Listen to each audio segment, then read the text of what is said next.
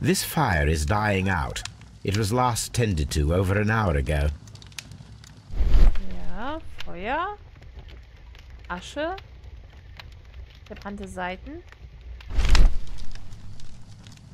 The papers are almost entirely burned. I am unable to see what's written here. Hmm. These words are illegible. The papers were thrown into the fire just a short while ago. Interessant, interessant.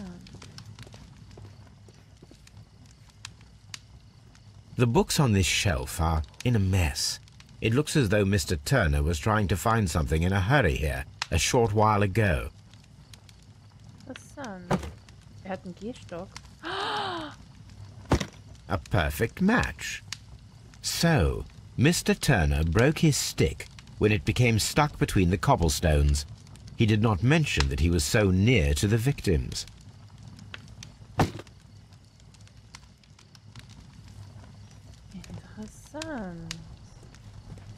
Mr. Turner was roused from his bed by the sound of gunshots.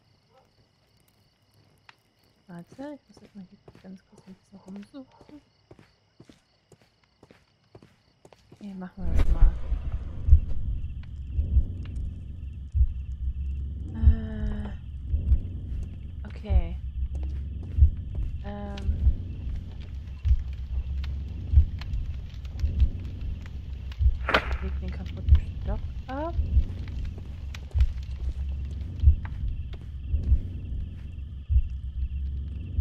Warte.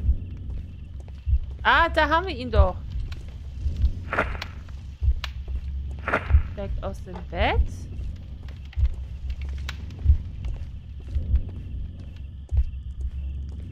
Oh. Weg. Äh. Öffnet das Fenster. Geht zur Leiche.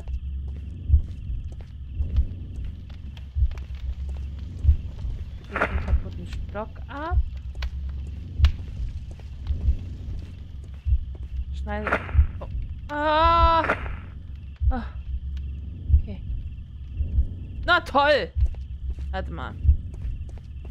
Geht zur Leiche. Legt den kaputten Stock ab. Schneidet das das da. Ah, da- da- jetzt ist. Ah, jetzt habe ich die 1 deaktiviert. Okay, warte mal, Konzentration. So. Äh. Äh. Äh. Äh. So. Äh.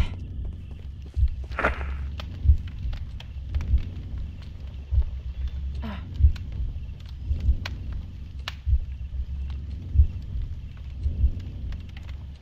Oh. Ja. Er humpelt dahin.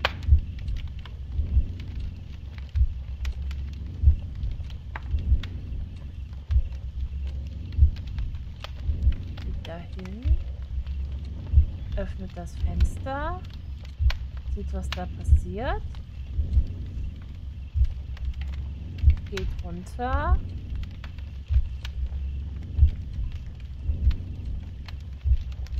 Spule vor. Guckt sich das an. Hebt irgendwas auf wahrscheinlich. Oder ich weiß nicht. Bricht sich da den Stock ab. Geht wieder hoch. Legt den Stock, stockt, Stock hier hin. Nimmt da irgendwas im Buch. Und zerschneidet irgendwas. Und wirft es ins Feuer. So Mr. Turner used a book to hide an object that he found on Kenneth Butler's body. The question is, what did he find?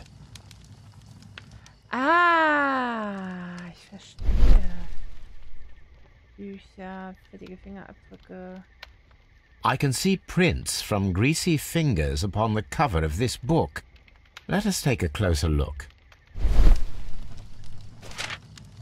Well now, what a find! A precious jewel, concealed inside a book. Na, sieh mal einer an. A bracelet with a unique ram's head design, a distinctive feature of ancient Grecian artifacts, probably of the Hellenistic era. Ist bestimmt einiges wert. Können wir ihn darauf ansprechen?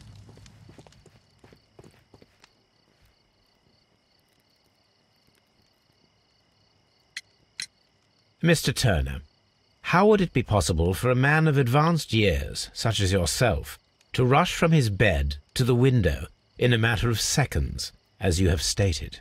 Well, uh, I'm, I'm able to move very quickly, despite my age. And when the situation requires it, Mr. Holmes. Yeah. I highly doubt that, Mr. Turner. I observe that you suffer a severe limp due to your injured right leg. It would have taken at least ten seconds for you to approach the window. That means you could have easily missed something or someone in Half Moon Street during that time. You, you- you're right, Mr. Holmes. I could have missed something. But it did seem to me that everything happened so quickly. Ah, time can pull tricks on you. And what of everything else that you told us? Mr. Turner, it is vital that we have your complete and true statement. Mr. Holmes, I do assure you that the other things I said were most sincere. Ah, ich habe mich verklickt. Tut mir leid. Mr. Holmes, I do assure you that the other things I said were most sincere. Ich meinte eigentlich das Armreif. Mr. Turner, you were not sincere with me. Not then, and not now. But, but, but Mr. Holmes, This, Mr. Turner, does not look like anything that a poor man might possess. It is worth more than the home that you live in. I, I can explain. No, merely correct me if I am wrong. You saw Leighton Chapman through the window, but you also noticed a glittering object on the ground, this precious jewel. You walked down and took the bracelet from the body of Kenneth Butler, and when you heard the whistles, you hurried away. That broke your walking stick. It caught fast between the cobbles. Constable Marrow was unable to see you in the window as you were climbing up the stairs on your way back to your flat. Upon returning home, you hid the precious jewel inside a book. Mr. Holmes, please don't send me to prison. I didn't do anything bad. I'm just a poor man. When I chanced upon the bracelet, I saw it as an opportunity to make a little money. I was desperate. I only took the bracelet, that's all, I swear. You made a mistake by lying to me. But you are not a criminal.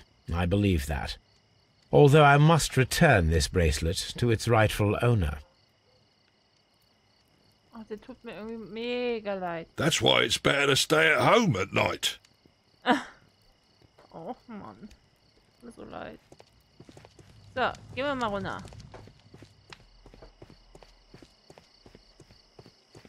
Ähm, was hätten wir denn noch? Äh, befragen Sie, äh, sammeln Sie Informationen über den antiken Armreif. Wir gehen jetzt erstmal in die Baker Street, um Informationen zu sammeln über den Armreif. Tucker, tucker, tucker, tucker, tucker, tucker. Oh!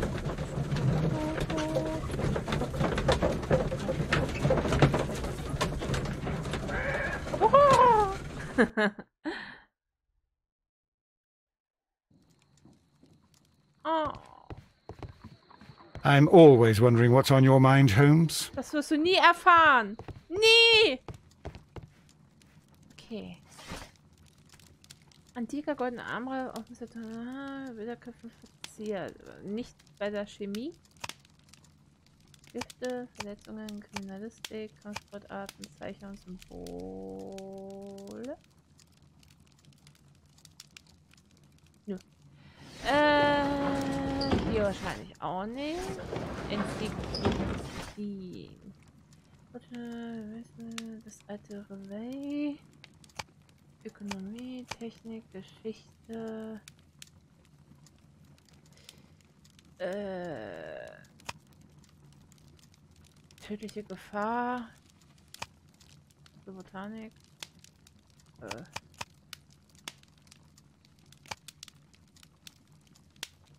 Äh. That is... That is not...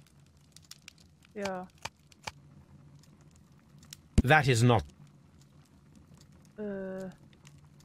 That is... Ich habe zu wenig. Ich habe zu wenig. Äh. That is not... Oh, echt? Diese wunderschönen antiken Schmuckstücke sind ein Teil der Sammlung, die als Hellen hellenistische Schätze bekannt geworden ist. Auf dem Bild sind fünf Widderköpfe auf Armreif, Halskette und Ring zu sehen. Alle aus purem Gold. Die fünf Widder von Michelini sind seit 885 verschwunden. Here it is. I need to continue my research in my archives. Was? Artikel über Antiquitäten benutzen. Hm. Äh, 85. Ähm, ein heimtückischer Diebstahl. Gestern Abend wurden die sogenannten hellenistischen Schätze gestohlen, als sie gerade in einer Kutsche vom Britischen Museum zur Glasfurt-Ausstellung der feinen Künste transportiert wurden. Kenneth Butler, der Inhaber eines Pfandhauses, meldete sich bei Scotland Yard und gab an, dass ein Mann versucht habe, ihn seinem Pfandhaus in der Church Street eine Sammlung historischer Kunstwerke zu verkaufen.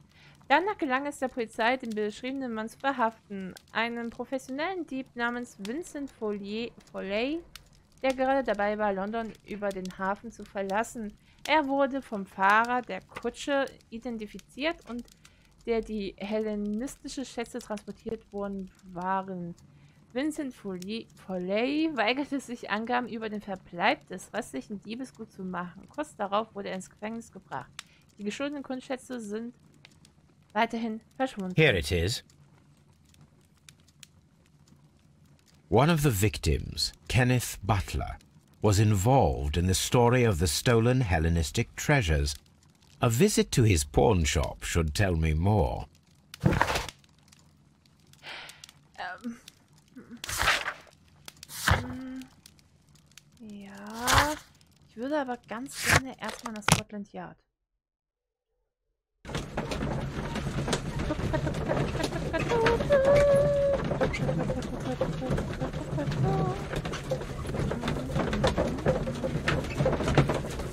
Ah. Ah. Mr. Holmes, whatever brings you here so late at night? I'm interested in the case of young Leighton Chapman. He was arrested earlier this evening and accused of a double murder. I beg your pardon? That case is quite clear to the police. Or are there any new facts that we don't know about? Who knows, Inspector? Look, you are free to investigate, of course, Mr. Holmes. Chapman was arrested with a revolver in his possession, which you can find in the evidence room. The suspect himself is in custody. Did you find anything else on his person? A few personal belongings. Nothing particular, Mr. Holmes. Thank you, Lestrade. Faszinierend. Ich muss mal ganz kurz nochmal wegen Speicherplatz gucken. Ich möchte da ein Auge drauf haben. Nicht, dass ich hier noch alles umsonst mache. Okay, weiter geht's. Bin gespannt, wie lange der Fall geht. Muss nämlich auch bald aufhören. Äh, das ist nicht die Asservatenkammer. Warte mal.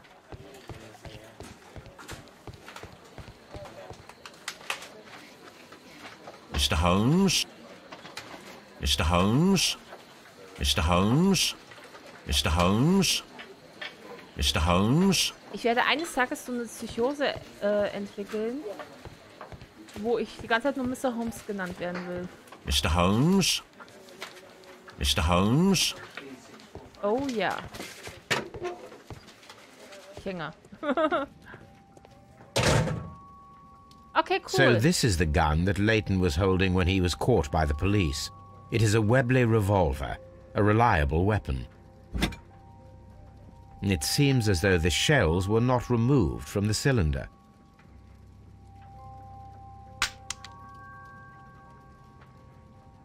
Two out of the six shells have been fired. There were two shots. These cigarettes are filled with cheap tobacco. Nothing interesting. A cheap watch, bought with his own money, no doubt. Und ein Apfel. Oh.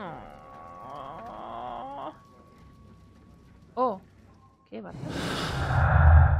Äh, letztes Mal hätte ein Revolver mit zwei Schüssen abgegeben worden, bei dem sich in der Tat. Äh.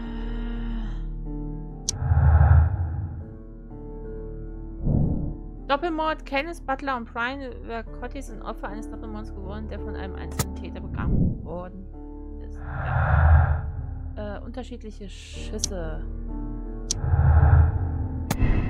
Gleichzeitige Schüsse. Mr. Turner konnte Unterschiede zwischen den zwei Schüssen hören, weil in Wahrheit drei Schüsse abgefeuert wurden.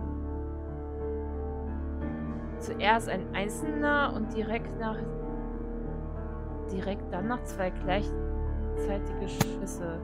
Schussposition. Mr. Turner konnte Unterschiede zwischen den zwei Schüssen hören, weil diese an verschiedenen Punkten hatten.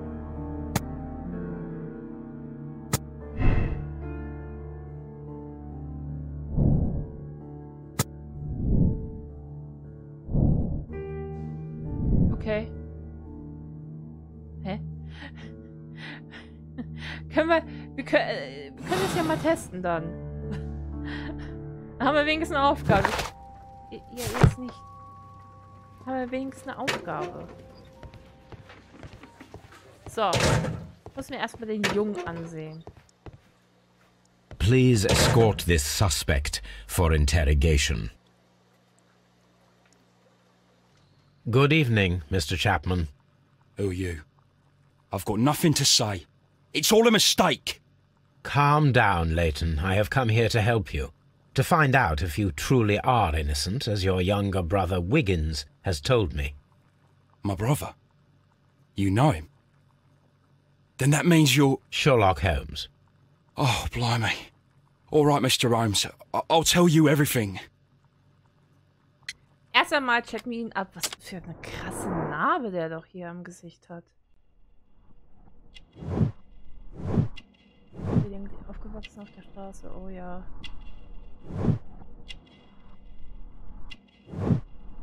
Kurzem geschlagen, er hat Widerstand geleistet. Ah. Äh. Was? Ruhige Arbeit? Büroangestellter. Warte. So. Ah, ruhige Arbeit. Er hat auch so ein Tattoo.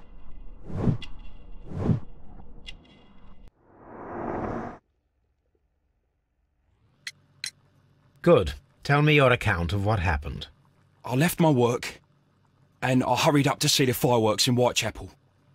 I was late, so I decided to cut through Half Moon Street.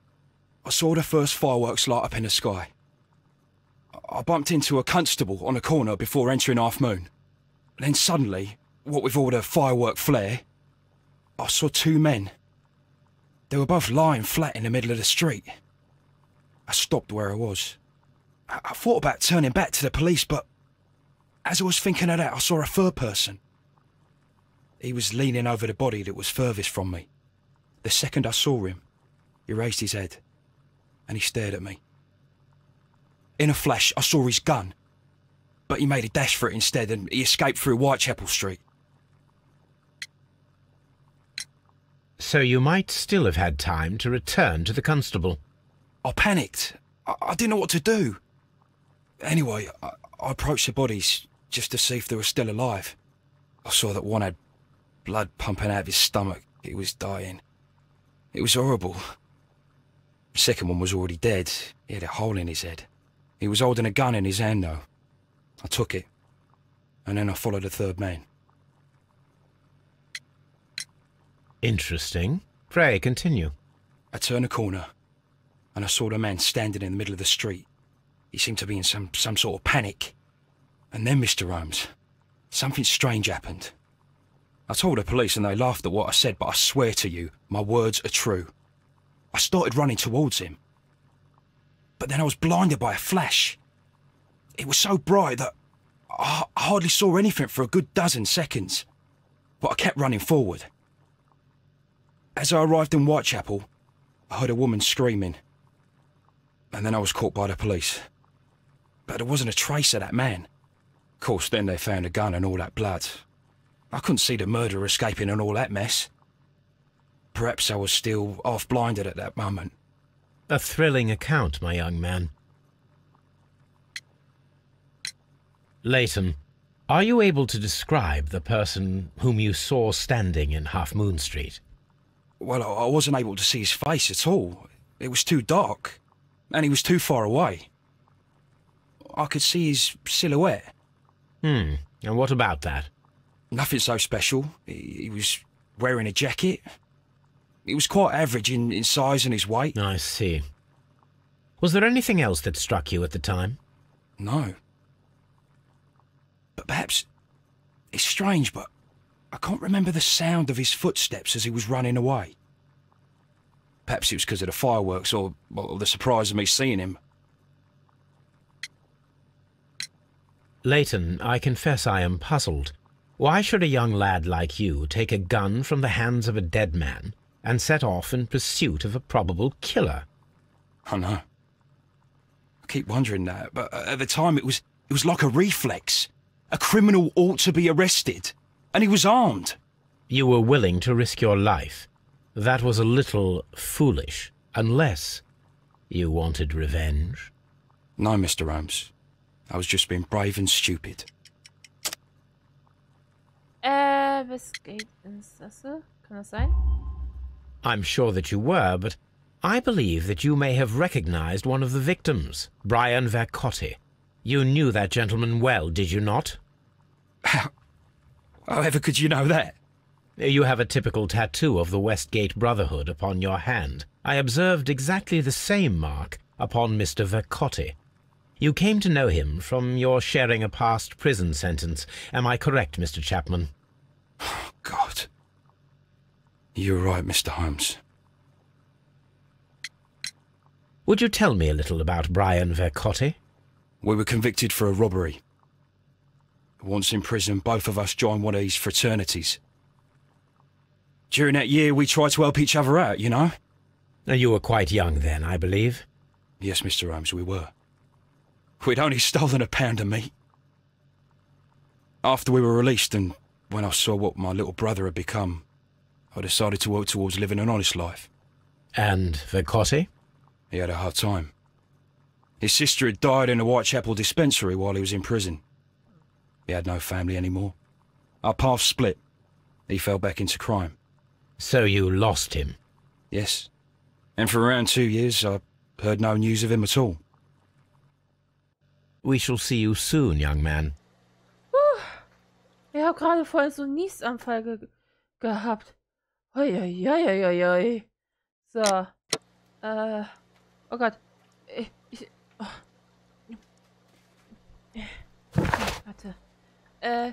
Leighton Chapman. Leighton Chapman ist der ältere Bruder von Wiggins und zwischen 20 und 30 Jahre alt. Er wuchs auf der Straße auf und hitzköpfig wie er war, wanderte er für eine kriminelle Tat ins Westgate-Gefängnis. Im Moment lebt er nicht mehr auf der Straße und arbeitet vermutlich als Angestellter in, einer Londoner, in einem Londoner Büro. Oh. Cool. Äh, zwischen Kenntnissen Butler und Primär zu einem Schusswechsel untersuchen sie die Leiche und äh, gut.